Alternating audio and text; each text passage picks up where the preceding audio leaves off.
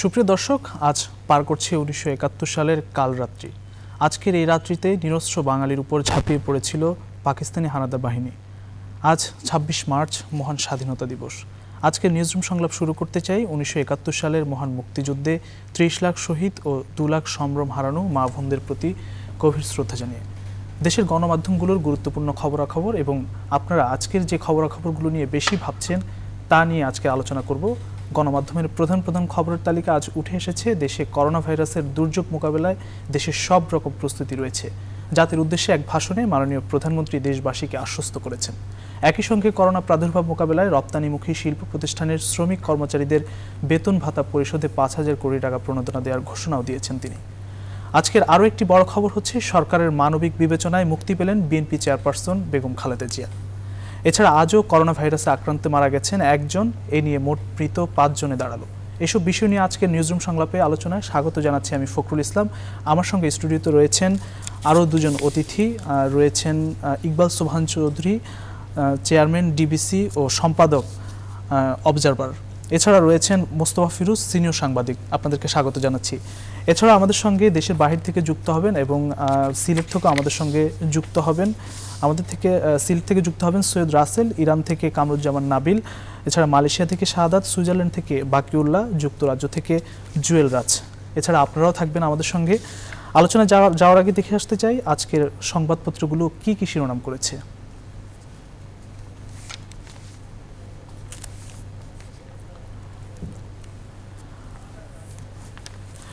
প্রথমে আসতে চাই বাংলাদেশ প্রতিদিন। জরুরি পরিস্থিতি মোকাবেলায় প্রস্তুত জাতির উদ্দেশ্যে ভাষণে প্রধানমন্ত্রী শেখ হাসিনা। মুক্তি পেলেন খালেদা জিয়া, আরও একজনের মৃত্যু। এরপর আসতে চাই কালের কণ্ঠ। কালের কণ্ঠ আজকের প্রধান শিরোনাম করেছে, করোনার বিরুদ্ধে যুদ্ধ, ঘরে থাকুন। বলেছেন মাননীয় প্রধানমন্ত্রী, আজ থেকে সব বন্ধ। মুক্তি পেয়ে বাসায় খালেদা। এরপর শিরোনাম করেছেন ডেইলি সান ডেইলি সান প্রধান শিরোনাম করেছেন prime minister announces taka five thousand crore incentive package for workers for export oriented industries urges people to stay home be safe Khaleda freed. এই ছিল আজকের পত্রিকাগুলোর প্রধান প্রধান শিরোনাম। এরপর চলে যাচ্ছি আমরা আমাদের মূল আলোচনায়। আমরা প্রথমে শুরু করতে চাই, আমাদের সঙ্গে অতিথি রয়েছেন জনাব ইকবাল সোহান চৌধুরী। আপনাকে দিয়ে শুরু করতে চাই, আজকে মহান স্বাধীনতা দিবস আপনাদেরকে স্বাগত জানাচ্ছি। এবং যে বিষয়টি বলতে চাই যে আজকে স্বাধীনতা দিবস উপলক্ষে সারা বিশ্বব্যাপী যে করোনার প্রাদুর্ভাব ছড়িয়ে পড়েছে, এর কারণে বাংলাদেশেও আজকে একটি ঐতিহাসিক দিন। মহান স্বাধীনতা দিবস, এই দিবসের যে প্রস্তুতি কিংবা এই দিবসের যে উদযাপন, যে অনুষ্ঠান সব কিছু স্থগিত করা হয়েছে। এটি তো নিশ্চয়ই করোনা প্রাদুর্ভাব মোকাবিলা অনেকটা সহায়তা করবে আমাদের জাতির জন্য। কি মনে করেন? প্রথমেই জাতির আজকে মহান স্বাধীনতা দিবস উদযাপনের দিন আমাদের। এবং এই দিনে আমরা যদিও আজকে করোনা ভাইরাস, ভাইরাসের জন্যে আমাদের যে স্বাভাবিক উদযাপনের যে কর্মসূচি ছিল, সেটি মাননীয় প্রধানমন্ত্রী এবং সরকার বাতিল করেছেন। জনসমাগম পরিপ্রেক্ষিতে আমাদের করোনা ভাইরাসের বিস্তৃতি যেন না ঘটতে পারে। কিন্তু এই দিনে অবশ্যই প্রথমে স্মরণ করতে হবে, যার জন্য আমাদের এই স্বাধীনতা।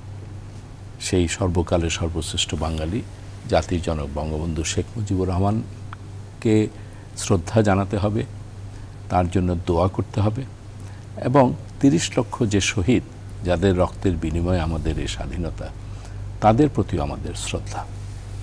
আর সেই সাথে যখন এখানে বসে আমরা আলোচনা করছি, এই স্টুডিওতে বসে, সেই সময় উনিশশো একাত্তর সালে তখন কিন্তু সারা ঢাকায় সহ বিশেষ করে ঢাকায় অপারেশন সার্চ লাইটের নামে পাকিস্তান হানাদার বাহিনী যে গণহত্যা শুরু করেছিল এবং রাজারবাগ, ঢাকা বিশ্ববিদ্যালয় ইপিআর এবং বিভিন্ন জায়গায়। এবং যে তাণ্ডব, সেই তাণ্ডব আমরা আজকে স্মরণ করতে হবে সেই পাকিস্তানিদের এই হত্যাকাণ্ডের জন্য তাদেরকে নিন্দা জানিয়ে এবং এখন পর্যন্ত যারা এই পাকিস্তানিদের দোসর হিসাবে আমাদের এই গণহত্যার দোসর ছিলেন আমাদের মুক্তিযুদ্ধের বিরোধিতা করেছেন তাদের প্রতিও আমাদের ঘৃণা জানাতে হবে। আপনার কাছে ফিরবো একটু আপনার কাছে আসতে চাই। আজকে আমাদের মহান স্বাধীনতা দিবস। আজকে নিশ্চয় আমাদের জাতির জন্য খুবই স্মরণীয় একটি দিন। আপনি কি মনে করছেন আসলে? করোনার কারণেই অনুষ্ঠান স্থগিত করা হয়েছে। ধন্যবাদ। আসলে ইকবাল ভাই যে শ্রদ্ধা নিবেদন করেছেন, একেবারে প্রতিটা ভাষা, প্রতিটা শব্দ, প্রতিটা লাইন আমারও বক্তব্য। সুতরাং আমি এই ব্যাপারে শুধু শ্রদ্ধা নিবেদনটা করে করছি। অবশ্যই মহান মুক্তিযুদ্ধে যারা শহীদ হয়েছেন, তাদের প্রতি একই সঙ্গে এই আজকের এই বাংলাদেশ, যার নেতৃত্বে আজকে এই দেশটি, সেই মহান নেতা জাতির জনক বঙ্গবন্ধু শেখ মুজিবুর রহমানের প্রতি শ্রদ্ধা নিবেদন করছি।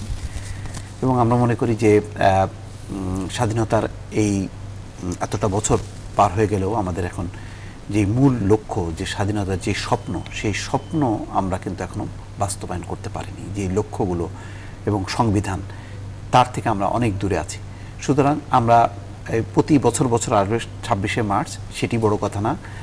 জাতির জনক বঙ্গবন্ধুর অবস্থান প্রতিষ্ঠিত, আমাদের মুক্তিযুদ্ধ, শহীদ, সব ঠিক আছে। কিন্তু যেই লক্ষ্য নিয়ে বাংলাদেশ, সেই বাংলাদেশের পরিপূর্ণতা আমরা যতক্ষণ না পাবো, ততক্ষণ পর্যন্ত শহীদের রক্ত তার স্বপ্ন পূরণ হবে না এবং বঙ্গবন্ধুর যে লক্ষ্য, সেটিও পূরণ হবে না। সুতরাং পুরো জাতি আমরা যাতে সেই লক্ষ্যগুলো পূরণের জন্য আমরা অগ্রসর হই, সেটি থাকবে আমার প্রত্যাশা। অসংখ্য ধন্যবাদ। আপনার কাছে একটু আসতে চাই জনাব ইকবাল সোবান চৌধুরী। আজকে মাননীয় প্রধানমন্ত্রী, আপনি জানেন যে সারা বিশ্বব্যাপী যে প্রাণঘাতী ভাইরাস করোনা ভাইরাসের কারণে সবাই অসহায় হয়ে পড়েছে। বাংলাদেশে আমরা অনেক দিন ধরে বলছিলাম যে আমাদের প্রস্তুতি কি আছে, কি নেই, এগুলো নিয়ে অনেক আলোচনা, সমালোচনা হচ্ছিল। কিন্তু আজকে মাননীয় প্রধানমন্ত্রী তার জাতির উদ্দেশ্যে ভাষণে আজকে একটি ঐতিহাসিক দিনে তিনি নিশ্চিত করেছেন, আশ্বস্ত করেছেন আমাদের যে বাংলাদেশের ব্যাপক প্রস্তুতি রয়েছে এবং তিনি এও বলেছেন যে আমাদের যে এই করোনা ভাইরাসের পরীক্ষার জন্য তেরো হাজার কিট রয়েছে, ত্রিশ হাজার কিট আসছে। এই নিয়ে আর অনেক এবং অনেক বড় ঘোষণাও তিনি দিয়েছেন। এবং আজকে একই দিনে বিএনপি চেয়ারপারসন চেয়ারপারসন যিনি পঁচিশ মাস ধরে কারাগারে ছিলেন, তিনিও মুক্তি পেয়েছেন। মানে বিষয়টা আসলে খুবই ইতিবাচক। দুদিক থেকে, কি মনে করেন আপনি? না, দেখুন, মাননীয় প্রধানমন্ত্রী আজকে যে জাতির উদ্দেশ্যে ভাষণ, তার দুটি লক্ষ্য ছিল। একটি হলো যে আমাদের আজকে যে স্বাধীনতা দিবস, সেই স্বাধীনতা দিবসের প্রাককালে তিনি সাধারণত জাতির উদ্দেশ্যে সরকার প্রধান হিসাবে তিনি বক্তব্য রাখেন। তবে এবারের তার জাতির উদ্দেশ্যে ভাষণের একটা ভিন্ন মাত্রা ছিল। যেহেতু করোনা ভাইরাসে আমাদের সারা দেশ আজকে একটা আতঙ্কিত অবস্থায় আছি। শুধু আমরা নই সারা বিশ্ব। অনেক সভ্য দেশ আজকে হিমশিম খেয়ে যাচ্ছে এই করোনা ভাইরাসের যে প্যান্ডেমিক সেটি মহামারী আকারে দেখা দিয়েছে সেটাকে মোকাবেলা করতে।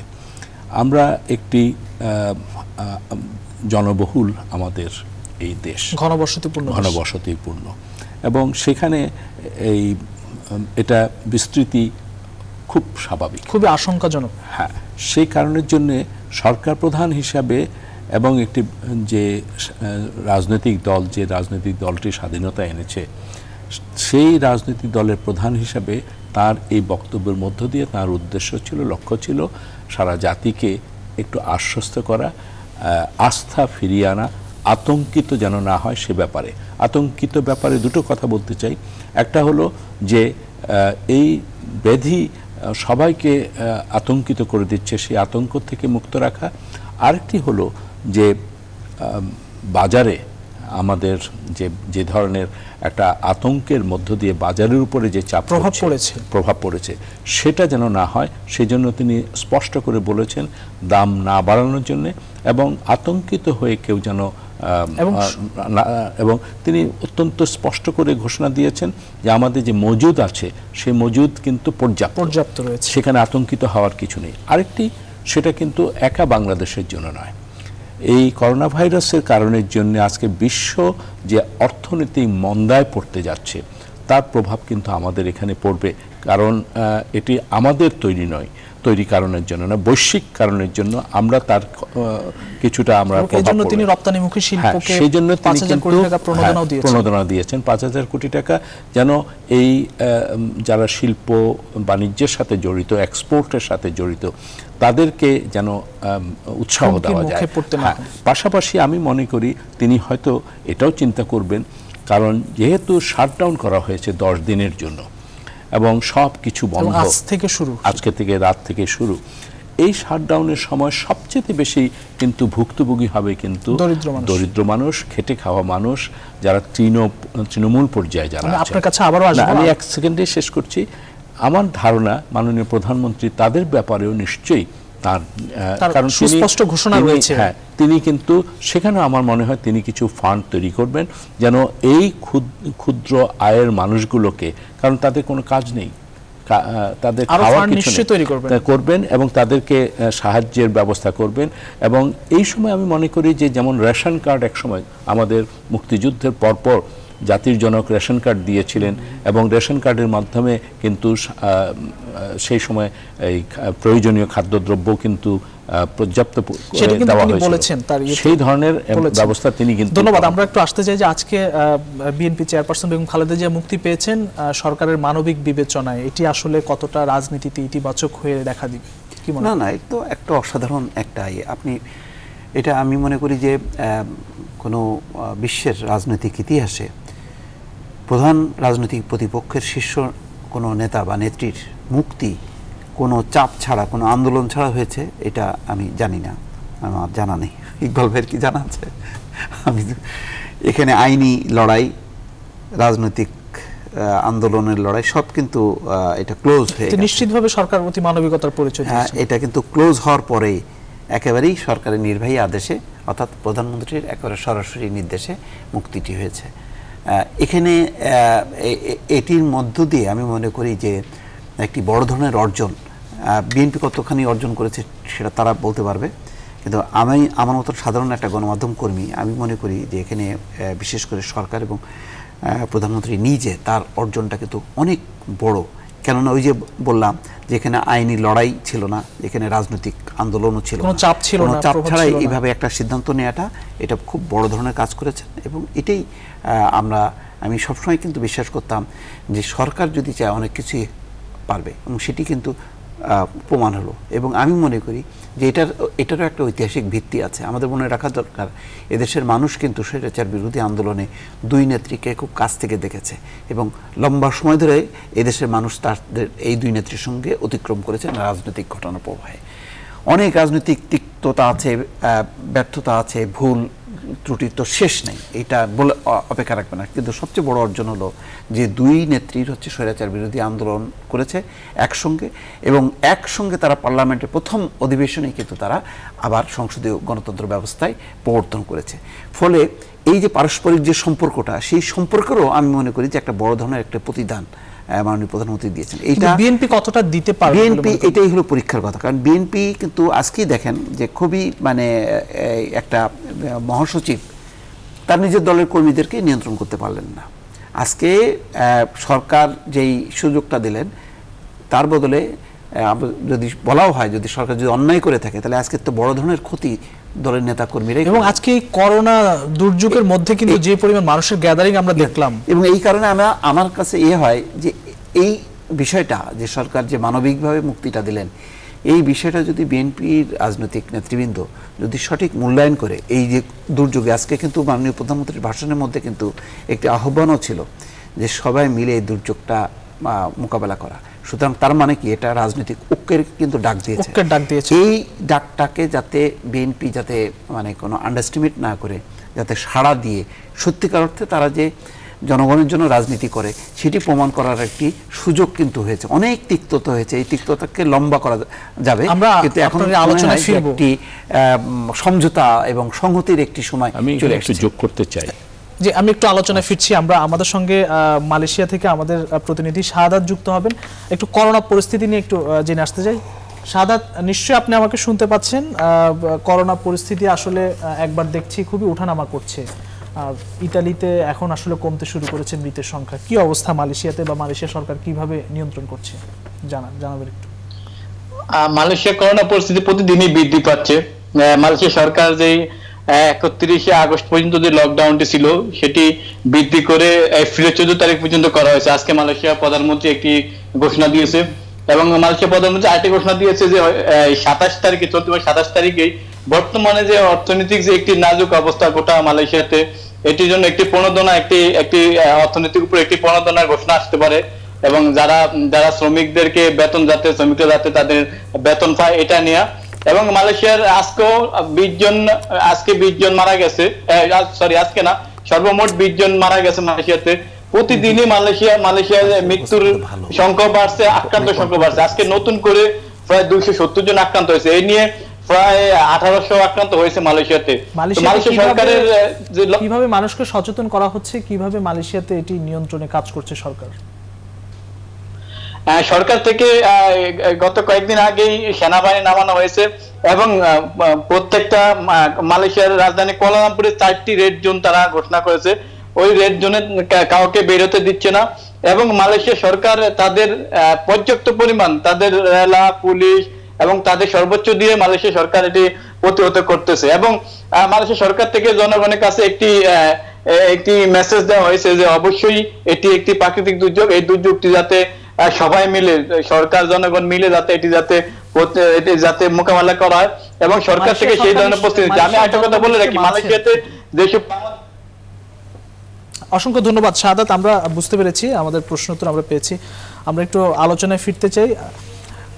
করোনা ভাইরাস আসলে সারা বিশ্বে কিন্তু এটি এখনও কিন্তু ব্যাপক আকারে এখনও তার যে প্রভাব সেটি রয়েছে এবং আজকেও কিন্তু আমরা যে পরিসংখ্যান রয়েছে, ইতালিতে আজকে মারা গেছে ছশো তিরাশি জন এবং আমেরিকাতে আজকে উনচল্লিশ জন, স্পেনে চারশো তেতাল্লিশ জন। এখনও কিন্তু কমেনি। আপনার কাছে একটু ফিরতে চাই যে করোনা পরিস্থিতি নিয়ে কি অবস্থা? আমরা কি মানে আশাবাদী কিনা যে বাংলাদেশের পরিস্থিতি এখনও বাড়েনি? বাংলাদেশে আজকেও একজন মারা গেছে। কি মনে করছে করোনা পরিস্থিতি বিষয়ে আলোচনা করার আগে আমি একটু ক্ষুদ্রভাবে একটু মন্তব্য রাখতে চাই যে মাননীয় প্রধানমন্ত্রীর ব্যক্তিগত নির্দেশ এবং তার উদ্যোগেই কিন্তু আজকে বেগম খালেদা জিয়া তাকে শর্ত সাপেক্ষে তাকে মুক্তি দেওয়া হয়েছে। আমরা সবাই জানি যে তার বিরুদ্ধে মামলা ছিল সেই মামলায় তাকে শাস্তি দেওয়া হয়েছে এবং সেই মামলাটি ছিল অর্থ তসরুপের বিষয় এবং মামলা দীর্ঘদিন চলেছে। তার পরিপ্রেক্ষিতে তাকে শাস্তি দেওয়া হয়েছে এবং তিনি শাস্তি সাজাপ্রাপ্ত আসামি হিসেবে ছিলেন এবং তার সুচিকিৎসার জন্যে সরকারের উদ্যোগেই তাকে বঙ্গবন্ধু হাসপাতালে বঙ্গবন্ধু হাসপাতালে তাকে রাখা হয়েছে। আজকে যেটি প্রমাণ করলেন প্রধানমন্ত্রী তাকে মুক্তি দিয়ে বেগম খালেদা জিয়াকে যে প্রধানমন্ত্রী রাজনৈতিক প্রতিহিংসাতে বিশ্বাস করেন না। তার যে মানবিক যে গুণটি, সেটি আবার নতুন করে তিনি প্রকাশ করলেন। আমরা জানি যখন প্রায় দশ লক্ষের উপরে আমাদের এখানে রোহিঙ্গারা যখন আসলো, আমাদের জনসংখ্যার চাপ আছে, আমাদের অর্থনৈতিক সীমাবদ্ধতা আছে, তার মধ্যেও কিন্তু শুধুমাত্র মানবিক কারণে দশ লক্ষের চাপ তিনি গ্রহণ করেছেন। আমরা জানি যে সকল প্রস্তুতি সম্পন্ন ছিল। সতেরোই মার্চ জাতির জনকের শততম বার্ষিকী হবে। শততম বার্ষিকীর সময় তো আর দ্বিতীয়বার আসবে না। সেই সময়টি সারা জাতি, সরকার প্রস্তুতি গ্রহণ করেছে। কিন্তু শুধুমাত্র মানবিক কারণে, এক, জনগণের স্বাস্থ্যের কথা চিন্তা করে করোনা ভাইরাসের কারণের জন্য তিনি সমস্ত কর্মসূচি বাতিল করে দিলেন। ছাব্বিশে মার্চের আজকের যে কর্মসূচি আছে, একটি জাতীয় দিবস, আমাদের স্বাধীনতা দিবস। সেই স্বাধীনতা দিবসের কর্মসূচিও কিন্তু বাতিল করা হয়েছে শুধুমাত্র এই মানবিক কারণের জন্য, অর্থাৎ মানুষকে, মানুষের কথা চিন্তা করে। তারপরে দেখুন যে বিএনপির পক্ষ থেকে এবং বেগম খালেদা জিয়া মানে বিএনপিরও নিশ্চয়ই কিন্তু দায়িত্ব রয়েছে হ্যাঁ, আমরা একটু আপনার এই উত্তরটি আমরা নিব। আমরা একটু সিলেটে যেতে চাই। প্রবাসী অধ্যুষিত সিলেটে রয়েছেন আমাদের প্রতিনিধি রয়েছেন সৈয়দ রাসেল। সৈয়দ রাসেল নিশ্চয়ই আপনি আমাকে শুনতে পাচ্ছেন। আহ, সিলেট প্রবাসী অধ্যুষিত একটি অঞ্চল এবং সেখানে আসলে কি অবস্থা? মানুষ কি হোম কোয়ারেন্টাইন মানছে কিনা বা কি অবস্থা সেখানকার? একটু জানাবেন।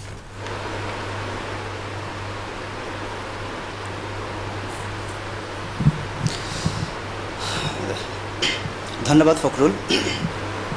আপনি জানেন আসলে সিলেটের বেশিরভাগ মানুষ প্রবাসে বসবাস করে, বিশেষ করে বিশেষ করে ইতালি, ইংল্যান্ড, তারপরে ফ্রান্স, এই- এইসব দেশগুলোতে মানুষ বসবাস করছে। তো সেক্ষেত্রে এই সিলেটের বাইরে যারা আছে, তারা দেশ থেকে তাদের তাদের নিয়ে বড় ধরনের চিন্তা ভাবনা আছে এবং আশঙ্কা আছে। প্রতিনিয়ত মানুষ আক্রান্ত হচ্ছেন। তারা বিদেশ থেকে বারবার ফোন করা হচ্ছে। মানুষ তাদের সমস্যা বাংলাদেশকে জানাচ্ছে, শেয়ার করছে। তো সব মিলিয়ে খুব খারাপ একটি অবস্থা এবং আশঙ্কা এবং উৎকণ্ঠা বাংলাদেশের মধ্যে। আর আরেকটা জিনিস, গত কয়েকদিন ধরে বেশ মানুষ বিদেশ থেকে আসছিলেন। তো আসার মধ্যে আজ ধীরে ধীরে সেই আসার পরিমাণটা কমে আসছে। বলতে পারি আজকে গত চব্বিশ ঘন্টায় মাত্র তেত্রিশ জন বিদেশি বাংলাদেশে। আমরা ঢাকাতে যেটা দেখছি যে ঢাকার মানুষ কিন্তু অনেকটা সতর্ক হয়েছে। সিলেটের কি মানুষ সতর্ক হয়েছে কিনা? সিলেটে এই সমস্যাটা আছে। না সেক্ষেত্রে আসলে সিলেটের মানুষ অতটা সতর্ক না সতর্ক না এই সতর্ক না থাকার কারণে একটা বড় সমস্যা হচ্ছে। সেক্ষেত্রে আজকে একটি ঘটনা ঘটেছে এই গত দুই দিন আগে একটি ঘটনা ঘটেছে যেখানে একটি এই মিষ্টির দোকানে তারা লিখে রেখেছে যে এখানে এই প্রবাসীরা প্রবেশ নিষেধ। তো কোন পরিস্থিতিতে আসলে মানুষ এটা লিখতে পারে সেটা নিয়ে আসলে ভাবা দরকার। প্রশাসন আর আমরা প্রশাসনও সেই ব্যাপারে নজরদারি দিচ্ছে এবং বিভিন্ন দিন অভিযান চালাচ্ছে পর্যবেক্ষণ করছে কীভাবে তাদের তাদেরকে নিয়ন্ত্রণ করা যায়। জি। তো এই অবস্থায় সিলেট। তো সব মিলিয়ে বড় ধরনের একটা আশঙ্কা এবং বিদেশ নিয়েও মানুষ উৎকণ্ঠায় বসবাস করছে। অনেক ধন্যবাদ। বিদেশের ব্যাপারে আমরা বুঝতে পেরেছি। অনেক ধন্যবাদ সৈয়দ রাসেল। আমরা চলে যাচ্ছি। প্রিয় দর্শক প্রিয় দর্শক দেশের প্রধান প্রধান খবরাখবর নিয়ে আজকে নিউজরুম সংলাপ শুনছিলাম আমরা। আমরা ফিরবো একটি বিরতি নিয়ে। শীঘ্রই ফিরছি।